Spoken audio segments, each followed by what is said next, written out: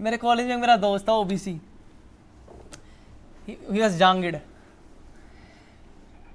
तो मुझे पता नहीं था कि वो जांगिड है। मतलब शुरुआत के दिनों में कॉलेज में। तो मैं उसके साथ अच्छा दोस्त बन गया हूँ मेरा। अब मुझे ना रिजर्वेशन के ऊपर थोड़ा मैं क्रिटिक हूँ। क्रिटिसिज्म नहीं क्रिटिक हूँ रिजर्वेशन का। वाई क्योंकि रिजर्वेशन अच्छे से नहीं दी गई। मैंने उसको बोला, मैंने कहा ओबीसी रिजर्वेशन के ऊपर रिफॉर्म आना चाहिए।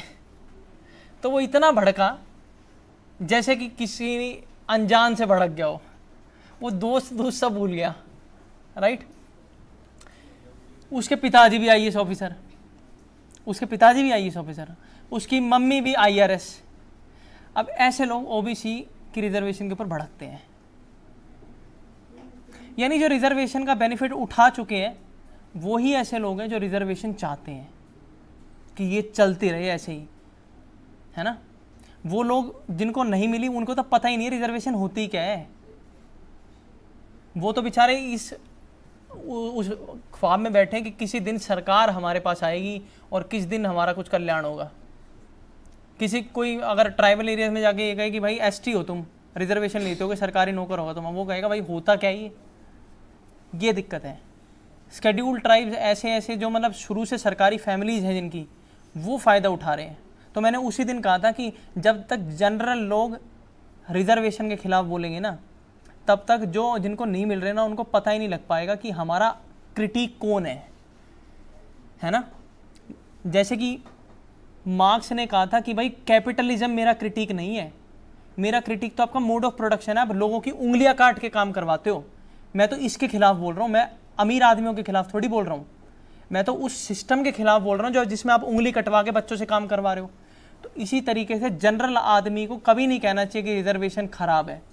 उसको ये कहनी चाहिए कि भाई रिजर्वेशन जिनको मिलनी चाहिए, वो खड़े हों और जिनको मिल रही है, उनके खिलाफ खड़े हों। क्योंकि जिनको मिल रही है ना, वो नलायक इंसान है। वो हकदार ही नहीं है। तो जिस दिन वो खड़े हो जाएँगे जनरल कम्युनिटी के लिए होगा प्यार। तो जनरल कम्युनिटी को क्या करने की आवश्यकता है, मैं बताता हूँ काउंटर हैजीमनी ठीक है? यानी एक होता हैजीमनी का मतलब क्या होता है?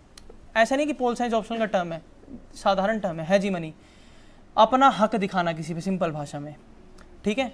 तो अभी हम क्या काम कर रहे हैं? अपना हक दिखा रहे हैं कि रिजर्वेशन हमें भी मिलनी चाहिए। जाट लोग वो मांग रहे हैं, गुज्जर वो मांग रहे हैं साउथ इंडिया की कम्युनिटी वो मांग रही है। तो सुप्रीम कोर्ट परेशान पार्लियामेंट परेशान किस किस को दी राइट और जिनको नहीं मिलनी चाहिए, वो उनके पास टीवी नहीं है, वो वैसे परेशान।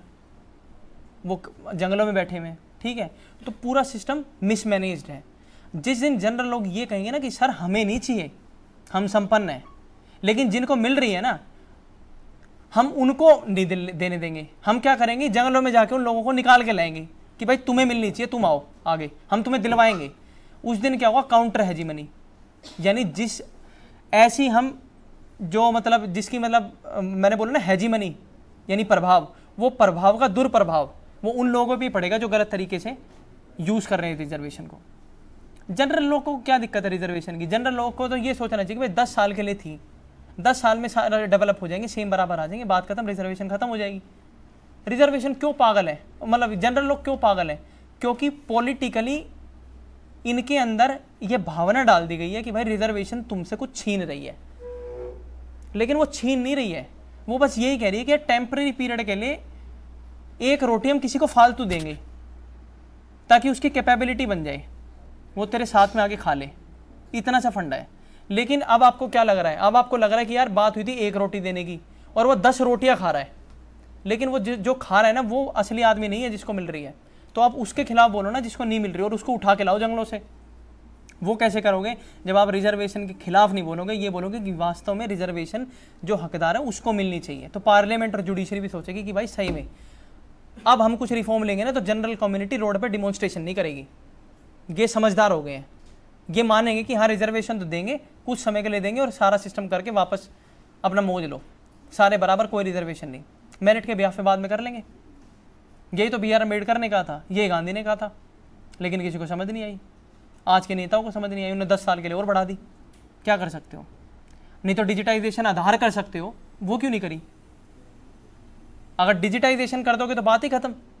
सबकी फ़ोटो आ जाएगी, सबका ये आ जाएगा, ये पता लग जाएगा कि भाई जैसे इनकम टैक्स में टी डी एस कटेगा तेरा आई टी आर फ़ाइल करनी पड़ेगी तो वहाँ भी ये पता लग जाएगा ना कि भाई तू आई एस ऑफिसर बन के बैठा हुआ है, तेरे को रिजर्वेशन क्यों दें हम? बताओ, होगा ना ठीक? तो digitization is very much required in the reservation to actually make reservation substantiate